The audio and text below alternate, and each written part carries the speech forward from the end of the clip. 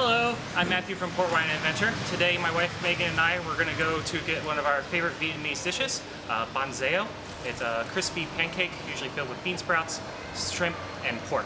Uh, I hope you enjoy our adventure. Come along.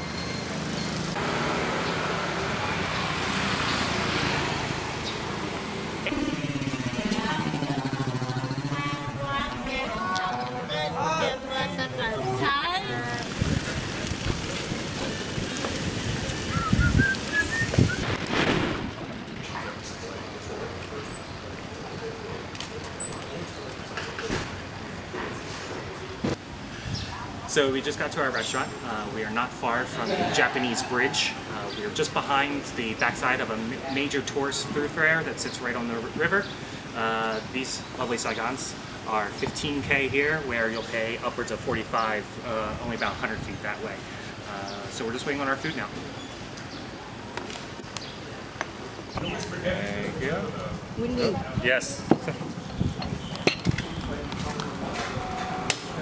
Thank you. Uh, we just received our banh xeo. Uh, we have rice paper for rolling, some herbs and lettuces. Uh, this would be the crispy rice cake. To eat them, uh, grab your rice paper, a little bit of herb,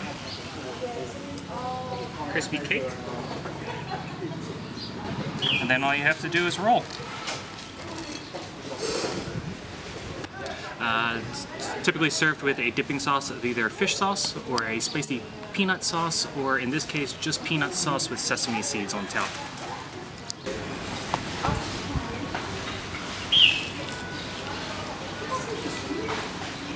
Delicious.